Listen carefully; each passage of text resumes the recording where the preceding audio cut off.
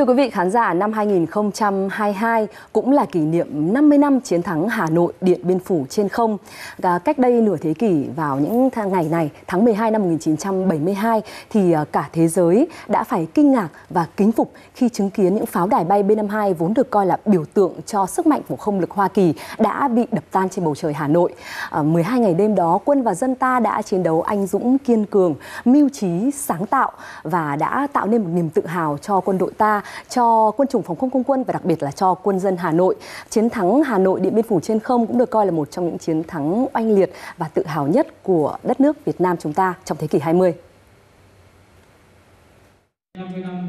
Chiến thắng Hà Nội Điện Biên Phủ trên không 1972, sức mạnh Việt Nam và tầm vóc thời đại là chủ đề cuộc hội thảo khoa học cấp quốc gia vừa được tổ chức tại Hà Nội. Tham luận tại hội thảo đã làm rõ nhiều vấn đề quan trọng của sự kiện lịch sử này, bao gồm bối cảnh tình hình trong nước và quốc tế, đường lối, chủ trương, sự lãnh đạo, chỉ đạo đúng đắn, sáng tạo của Trung ương Đảng, Bộ Quốc phòng, cuộc chiến đấu kiên cường, anh dũng, mưu trí, sáng tạo của quân dân ta và những bài học rút ra. Đây là cái ờ, sự tài tình của Đảng ta.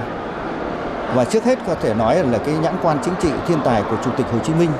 Ờ, đã có cái tầm nhìn chiến lược, đã có dự báo tiên đoán hết sức chính xác trên cơ sở khoa học. Mà có dự báo đó đã làm cơ sở ờ, cho Trung ương Đảng và trực tiếp là Bộ Quốc phòng Quân ủy Trung ương, Quân chủng phòng không không quân chủ động trong việc xây dựng kế hoạch chuẩn bị về mọi mặt để sẵn sàng uh, chống cái cuộc tập kích đường không chiến lược của đế quốc Mỹ uh, thông qua cái việc chỉ đạo của Bộ Quốc phòng, uh, Bộ Tổng tham mưu, uh, chỉ đạo các lực lượng của quân chủng phòng không quân trực tiếp để chuẩn bị chiến đấu. Và vì thế chúng ta không hề bất ngờ khi mà địch uh, uh, phát động cái chiến dịch này. Và chúng ta đã chủ động cả về chiến lược chiến ờ, dịch và chiến thuật và đã chuẩn bị mọi mặt cả về tinh thần và lực lượng. Trong kỷ niệm 50 năm chiến thắng Hà Nội Điện Biên Phủ trên không, nhiều hoạt động tuyên truyền khác cũng được tổ chức như trưng bày sách ảnh liên quan đến chiến dịch, tổ chức cho học sinh sinh viên tham quan bảo tàng chiến thắng B52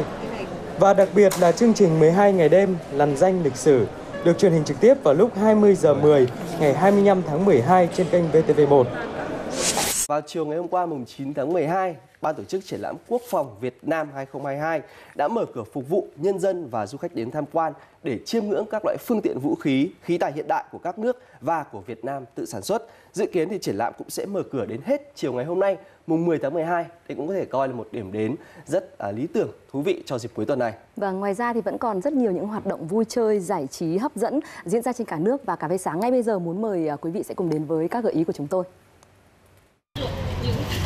Khoảng lặng là tên một cuộc trưng bày vừa ra mắt tại di tích lịch sử nhà tù Hỏa Lò nhân dịp 50 năm chiến thắng Hà Nội Điện Biên Phủ trên không và 50 năm trao trả phi công Mỹ bị bắt giam tại các trại giam miền Bắc. Qua hai nội dung, những ngày đỏ lửa và sau bức tường đá, nhiều hiện vật quý lần đầu được giới thiệu tới công chúng như huy hiệu Bắc Hồ mà phi công Nguyễn Văn Cốc được trao tặng khi bắn rơi máy bay Mỹ năm 1967, máy đo huyết áp, ống nghe từng được sử dụng để khám bệnh cho người dân sau các trận ném bom, thư của một trung tá hải quân Hoa Kỳ viết gửi con trai trong thời gian bị giam giữ ở Hà Nội nhân dịp Giáng sinh năm 1970. Từ đây, người xem được gợi nghĩ về những khoảng lặng sau các trận bom giải thảm, sau các trận đánh khốc liệt và về những mất mát, hy sinh mà mỗi chiến sĩ, người dân đã trải qua trong 12 ngày đêm khói lửa.